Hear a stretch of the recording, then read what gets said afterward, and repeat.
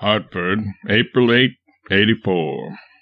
My dear Howells, It took my breath away, and I haven't recovered it yet entirely. I mean the generosity of your proposal to read the proofs of Huck Finn. Now, if you mean it, old man, if you are in earnest, proceed in God's name, and be by me forever blessed.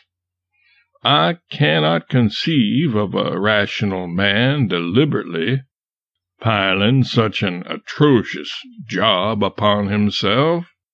But if there is such a man, and you be that man, why then pile it on. It will cost me a pang every time I think of it.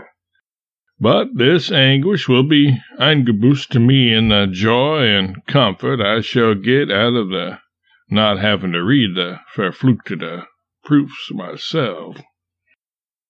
But if you have repented of your Augenblicklicher Tobsucht and got back to calm, cold reason again, I won't hold you to it unless I find I have got you down and righted somewhere.